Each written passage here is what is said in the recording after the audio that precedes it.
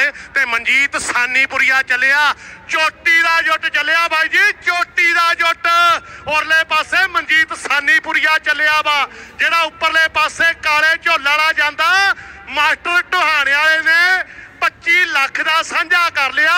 ਰਣਵੀਰ ਨਿੱਕੂ ਨੇ, ਕਲਬੀਰ ਮਾਨਕਾ ਵਾਲੇ ਨੇ, ਲਾਲਾ ਹਵਾਰੇ ਵਾਲਾ ਜਾਂਦਾ। ਪਰਸੋਂ ਹੀ ਕਹਿੰਦੇ ਵਿੱਕੀ ਨੌ ਇਹਦਾ ਨਵਾਬ ਰੱਖਤਾ ਨੌ ਇਹਦਾ ਨਵਾਬ ਇਧਰੋਂ ਬਾਈ ਬਿੰਦਰ ਹੋਣੀ ਚੱਲੇ ਆ ਸੇਖੇ ਵਾਲੇ ਧਰੂ ਹੋਣੀ ਦੌਧਰ ਵਾਲੇ